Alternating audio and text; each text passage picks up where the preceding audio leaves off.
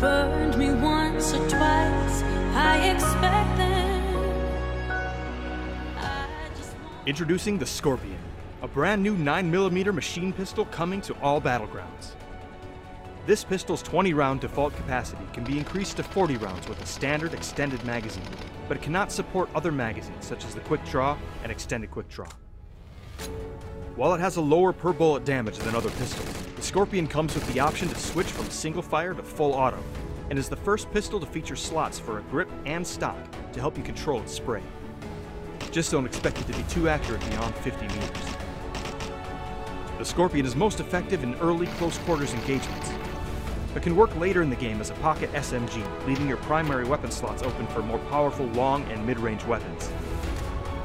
If you're able to kit it out with the right attachments, of course.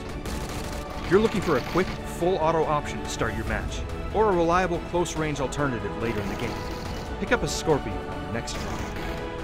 Coming soon. So give me something to believe.